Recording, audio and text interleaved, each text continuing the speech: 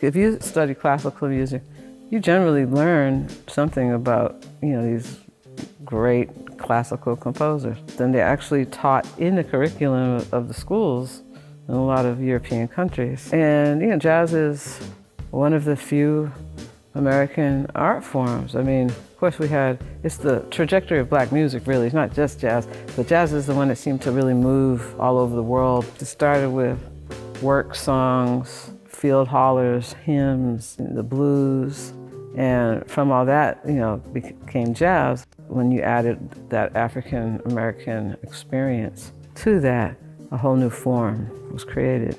And I think people have to understand that. Just understand the basics, and it's informative. It, it informs your playing, it informs uh, just your respect for the art form. Context is important with whatever it is we're doing to be here and grateful uh, to York for this invitation and for giving me an honorary doctorate last year. I really appreciate the progressive nature of the school. It feels like York really walks the walk. So it's a very comfortable space for me to be in, which um, is great.